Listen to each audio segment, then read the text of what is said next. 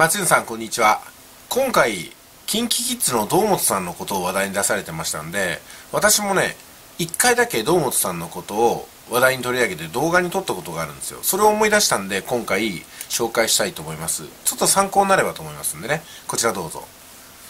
はい、えー、私の動画はこんな感じでねあの何て言うんですかね。ちょっと音声を切ったまま再生しますね。えー、まずタイトルがってちょっと進めると私がこうやってね喋ってるんですよ。まあテロップもつけてて編集をちょっとした頃なんですけどもね。まあ堂本さんとは似ても似つかないおじさんが喋ってるということでございますけども、2017年の7月16日私が隠居を始めて間もなくこの動画を撮ったってことになります。後ろにはね合宿の時のなんかスケジュールとかやってたんで多分これねなんか月収100万合宿とかやってたとこじゃなかったかなと思いますよね。まあ、その辺はまあ置いとくとして再生数はまあ今4052って書いてます。だから2017年に撮った割にはあんまり回ってないんですけどもこれね最初にアップロードした時にもうすでにね2000回ぐらいだったんでまあアップロードした初日に2000回ぐらい回ってあとはあのー、まあロングテールで回ってるってことなんですよねきっとね。はい。あこれちょっといいね押しておきましょうか一応自分で。はい。で、今回は何がちょっとお伝えしたいかというとね、まずタイトルね、キンキキッズ感動って書いてますよね。うん、だから感情を揺さぶるように書いておくってことが一つの、一つのヒントになると思います。そして突発性難聴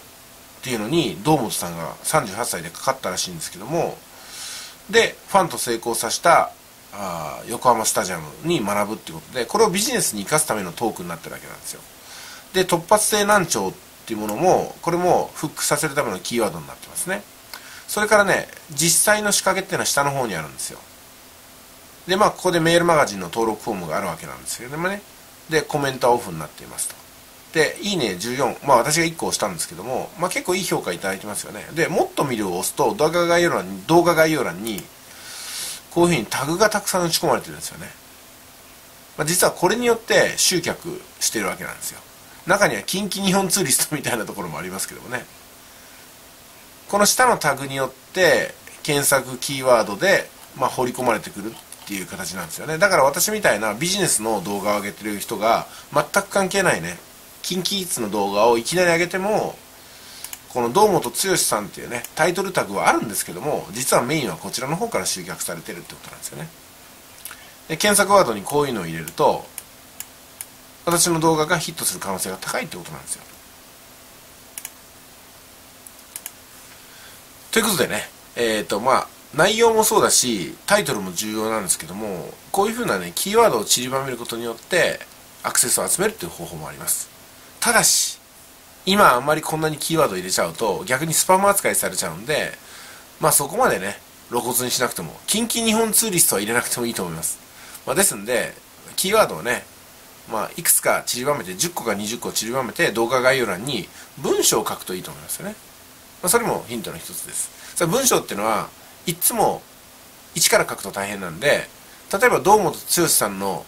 時はこの文章って決めといてその文章をいつもコピペするようにしといたらいいんじゃないですかね、というのがまあヒントの一つです。まあでも大筋では